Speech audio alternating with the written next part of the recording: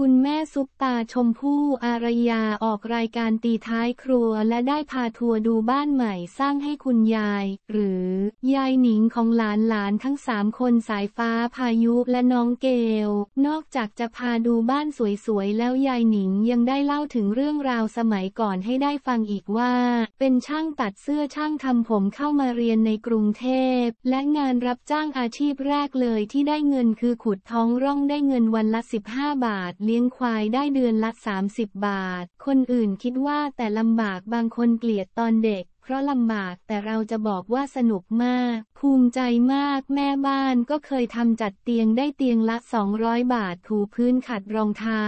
ซักทุกอย่างเดือนหนึ่งเรารับแค่ 6 เตียง ด้านลูกสาวอย่างชมพู่ก็เล่าถึงตอนเด็กว่าเคยถูกส่งตัวกลับจากอเมริกา เพราะวีซ่าหมดอายุ ยายหนิงเสริมว่าตอนนั้นตั้งใจจะไปอยู่กับตายายที่อเมริกาให้ ชมพู่ไปเรียนที่โน้นเลย วีซ่าหมดเป็นจังหวะที่เราเรากำลังจะต่อพอดีแต่โดนส่งตัวกลับก่อน ชมพู่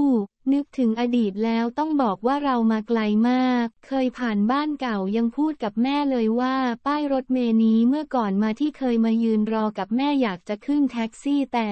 ไม่กล้าบอก ภาพที่เห็นว่าชมพู่มีครบทุกอย่างจริง ๆ และอยู่อย่างหรูหราใส่แบรนด์เนมหมดซึ่งชมพู่ได้บอกว่าทุกอย่างมีเวลาของมันโซเชียลมีเดียทำให้เราเข้าใจว่าทุกอย่างมันคือเร็ว รวยเร็ว แต่ทุกอย่างมีเวลาของมัน แต่เราต้องไม่ออกนอกลู่นอกทางเชื่อในความถูกต้อง ต้องอดทนด้วยจะเห็นถึงความสำเร็จ หลายคนได้ฟังแม่ชมกับยายหนิงแล้วต่างปรบมือพร้อมๆกับชื่นชมมากๆ ความสำเร็จมาจากความอดทนและตั้งใจจริง ๆ ดูแบบเต็มๆรายการตีท้ายครัว